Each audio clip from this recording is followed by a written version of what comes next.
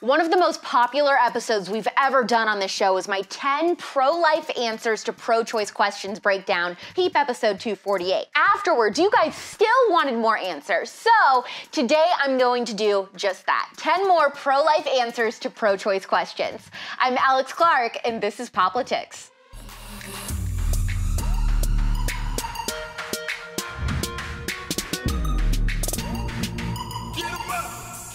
Question one Shouldn't abortion be acceptable if the baby isn't viable to survive on its own? First of all, you should know that the point of viability completely changes depending on technology, not the unborn baby. So it's hard to tell where we'll be at in a few years. Maybe babies will be viable at conception. The other thing is, you do realize a lot of people born are not viable, right? Newborn babies are not viable. They can't feed themselves or take care of themselves. NICU babies can't survive on their own. Toddlers can't survive on their own. Shoot, a lot of elderly people can't survive on their own.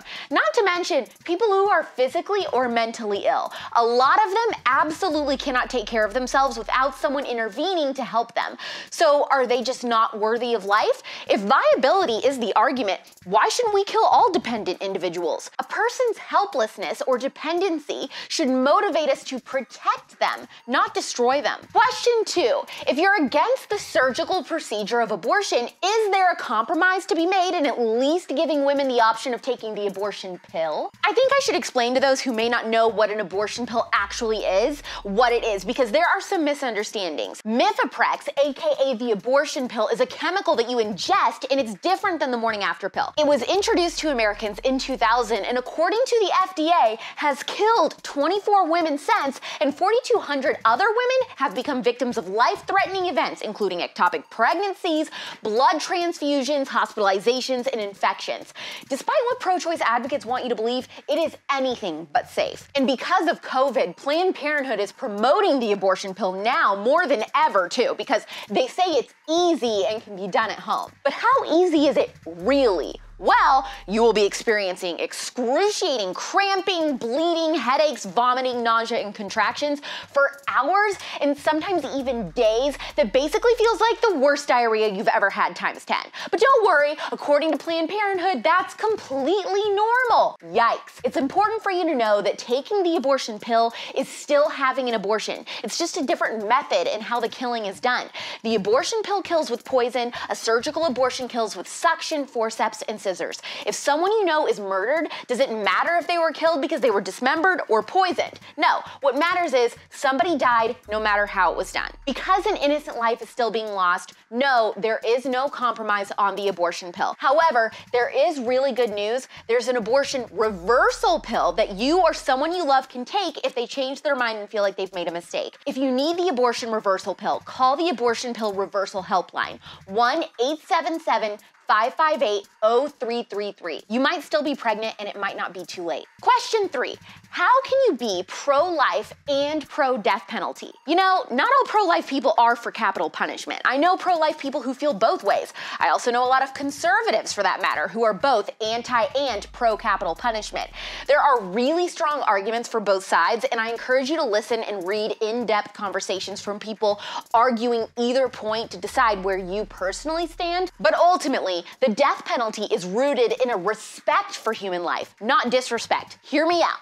The earliest examples of the death penalty are found in the Bible, Genesis chapter 9 to be exact, and its purpose was to be imposed in cases of murder only because life is so valuable to God that when someone deliberately takes it from another human being, they forfeit their own right to life. The idea of capital punishment actually affirms the pro life stance that all innocent human lives deserve protection and justice should be carried out when they're not. It's not contradictory to be pro life and anti death penalty, but it is inconsistent to be anti death penalty and pro abortion. Only a hypocrite would say that a murderer should live, but an innocent child should be put to death. Question four if Planned Parenthood is shut down, won't women go without other healthcare services they desperately need? Planned Parenthood loves to tell people abortions only amount to 3% of their services and that only 10% of women who come to see them get an abortion. But consider this why then are abortion restrictions so detrimental to their business? Why does Planned Parenthood shut down clinics based solely on state restrictions on abortions? They don't shut down because of state restrictions on other things. If abortions really do only represent just 3% of their services and women would die without them, why in the world would they not stay open then to provide the other supposed 97% of their services? In 2017, Planned Parenthood performed 321,384 abortions, which is over one third of all the abortions in the US. There is no denying the numbers. Planned Parenthood is the country's largest abortion provider, bar none. And for the question of where women would get their other healthcare needs met without Planned Parenthood, there are places called federally qualified health centers, or FQHCs, that don't provide abortions and primarily help low income women. Across the US, there are 16 times more FQHCs than Planned Parenthood centers that serve eight times more clients. FQHCs offer families a wider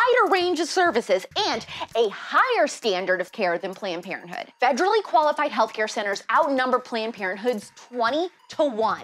In the state of California alone, which has the most Planned Parenthood locations in the country, there are only 114 Planned Parenthood clinics compared to over 1,600 FQHCs. The idea that women would have nowhere to go without Planned Parenthood is a lie so profound that only someone desperate for money would make it up. By the way, Planned Parenthood clinics don't even provide mammograms, even though they say they do.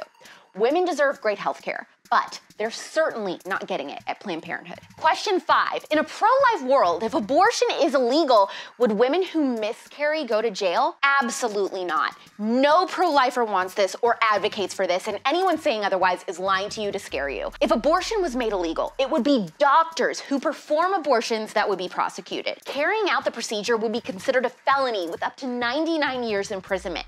A miscarriage is completely different than an abortion. An abortion is the act of intentionally taking a human life.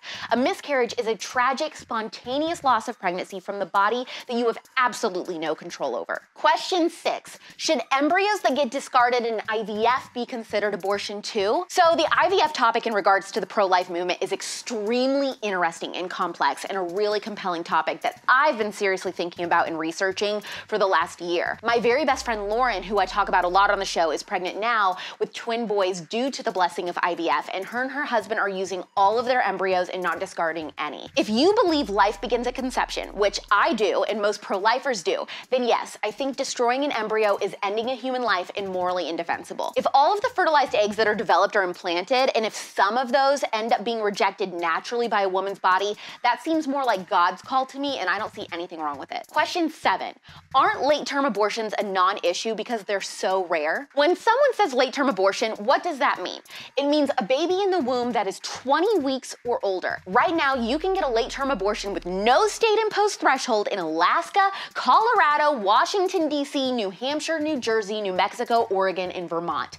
Abortions at 20 weeks or later make up for about 1.3% of abortions in a given year, which is still a lot of babies. In New Jersey and New Hampshire aren't even required to report their abortion numbers, so more than likely, these stats are actually a lot higher. Not to mention all the states that say a late term abortion is okay when medically necessary. The thing is, an abortion is never medically necessary. If you missed the answer to that question, make sure you go back and watch the first pro life video I did. Question eight I agree with making abortion illegal in the second or third trimesters, but a two inch blob in the first trimester is not a person, so what's the big deal? If size is the determining factor in whether or not someone deserves to live, does that mean that I am more expendable than an NBA player? Is someone who loses a significant amount of weight in their life now worth less than when they were bigger?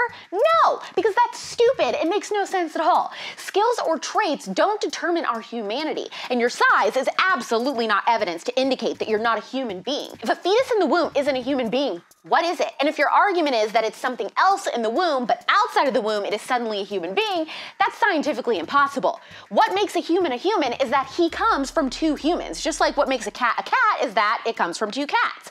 If you come from human beings, have unique DNA, and are alive and growing, then under the Constitution, you are a person who deserves rights and equal protection. Joe Biden and Kamala Harris want to repeal the Hyde Amendment, which means our tax dollars would go directly towards funding abortions.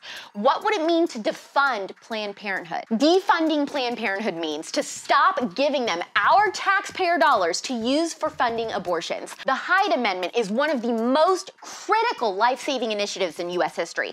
For the record, Joe Biden supported the Hyde Amendment as recently as 2019, but then he wanted to run for president and the radical left controls him because he's a Muppet with hardly any cognitive abilities left. Well, a few days ago, his press secretary, Jen Psaki, was asked about it, and all she said was, he's a devout Catholic, which isn't even an answer. Americans deserve to know where our taxpayer dollars are going.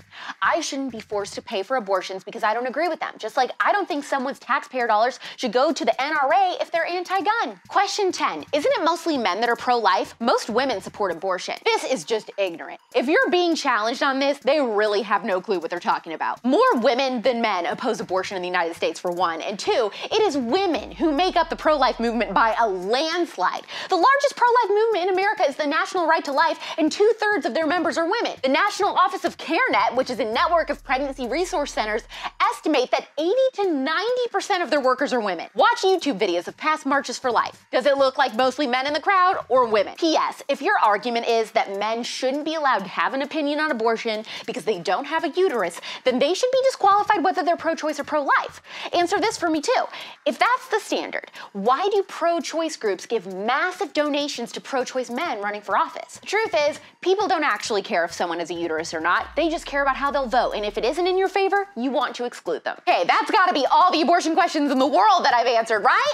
I'm just kidding. There are so many great questions when it comes to abortion. If you think of more that I haven't answered in the first video or this video, let me know in the comments what they are and maybe I'll make a third. Like this episode so it shows up in people's feeds, DM it to three friends who are pro-choice and save this episode so you can go back to it later when someone asks you about what pro-lifers believe.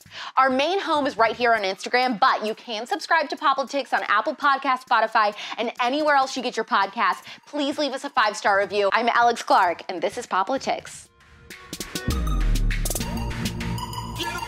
Click below to watch yesterday's episode. Please subscribe, thumbs up, share this video, and ring the bell for notifications so you never miss the conservaTEA. And make sure you're following this show at Poplitics on Instagram for even more conservative content.